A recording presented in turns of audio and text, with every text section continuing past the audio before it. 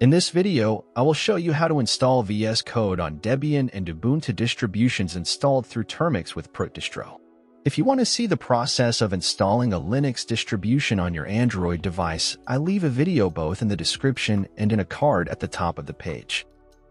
To install VS Code, the first thing is to log into our distribution and connect via VNC. In my case, I will use Debian with the LXDE desktop. You will have a video soon on how to install this desktop. We go to the official VS Code page from the browser and scroll down to see the download options.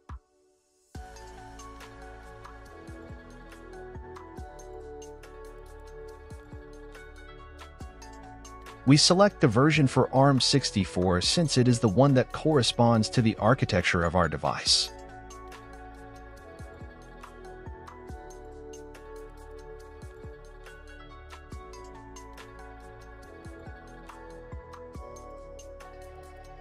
When it downloads, we open the terminal and go to the download folder.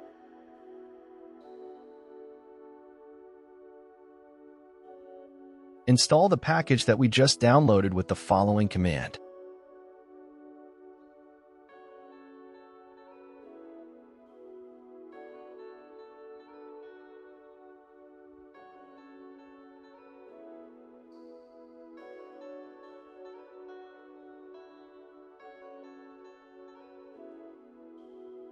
Once installed, we can open VS Code with the command that you see. It is important to use the tag no sandbox, otherwise the program will not launch.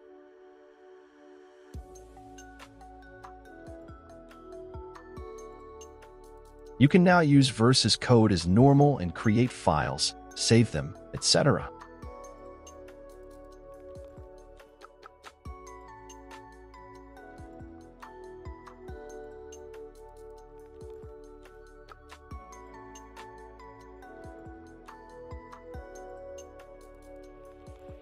To launch the program from the Applications menu, we need to modify the launching parameters. We look for Visual Studio Code in the menu, right-click on the name and click on Properties. Change tabs and where it says Command at the No Sandbox part. Accept, and we can open the VS Code from the menu.